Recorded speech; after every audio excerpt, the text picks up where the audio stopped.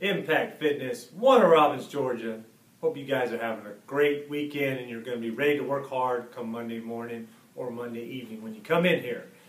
Uh, the mindset principle for this week is we don't want you guys to fall into the trap that most people fall into this time of year. When it gets warmer, a lot of you get into the mode of, I'm going to really start working out hard and and eat better. That's good mindset to go into it. But a lot of times you try to really restrict your calories on some kind of fad diet, and then you try to really work out hard at the same time.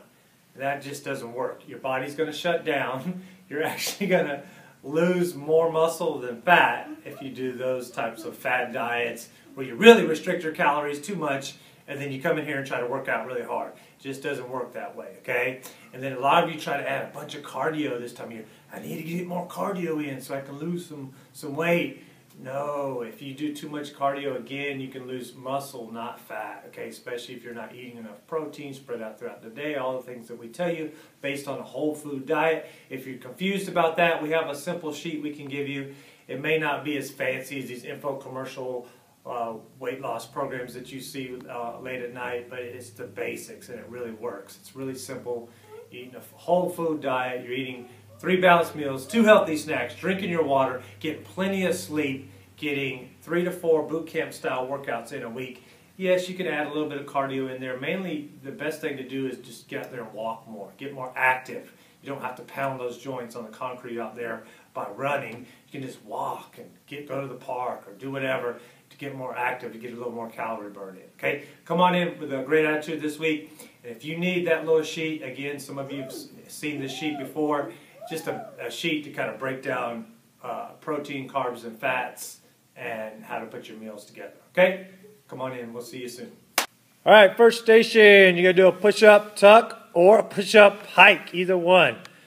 Pike is a little harder. She's doing a push-up tuck. There's the pike. A little bit harder. Doing an elevated on the step, because I'm trying to help you guys out a little bit, give you a little better angle, especially to do the tuck with. Push up, tuck, push up, pike.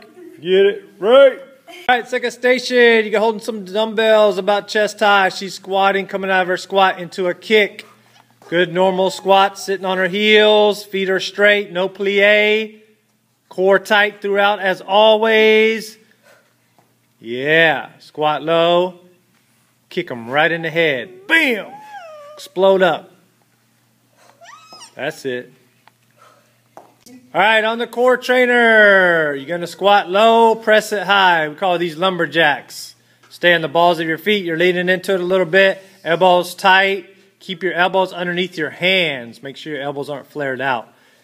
There you go. Good squat. Press it high. Obviously, you can challenge yourself with this one with some weight if you wanted to or just rep it out. Either way, if you've been coming a while, like I said, you need to be challenge yourself with some resistance. It's not going to bulk you up. It's just going to get you leaner and fitter, faster. All right, on the straps, we're going to do side lying. You got your feet hooked into the strap.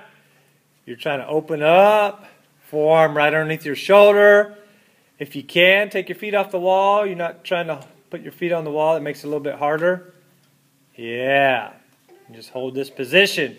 Obviously, if this is too advanced for you, we can do it on the ground. Do it from your knees. We got all kinds of modifications.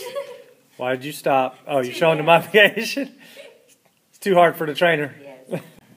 all right, stability ball squats. You're holding a medicine ball in your hands, trying to keep it off your chest. Squat low, keep your weight over your heels, flat back, core tight again, as always. She's even going a little bit past 90. That's that's all. That's okay if you can do that. But at least try to get to 90 degrees. Hold that ball off your chest, and really control the movement. Focus on the form. All right, last station. Little side straddle hop with the PVC pipe with the water in it. Just swinging it above her head. She's trying to swing it up there. She's not shoulder pressing it up there. She's swinging it out away from her body. If you if you notice what's going on here. She's swinging it up there with her feet going out, soft landing. Not very high impact at all. Getting some good cardio in, working that body. Getting the whole kinetic chain involved with this intense side straddle hop.